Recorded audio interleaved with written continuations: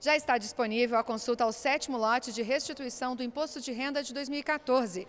Foram contemplados neste lote quase 1 milhão e 500 mil contribuintes, totalizando mais de 1 bilhão e 800 milhões de reais em restituições. Também estão neste grupo restituições de 2008 a 2013. O valor, reajustado pela taxa Selic, vai estar disponível no dia 15 de dezembro. Para saber se foi contemplado, o contribuinte deve acessar a página da Receita na na internet www.receita.fazenda.gov.br ou ligar para o Receita Fone no número 146.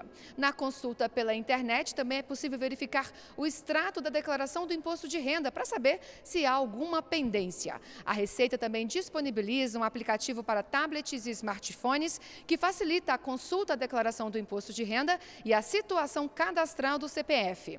De Brasília, Luana Karen.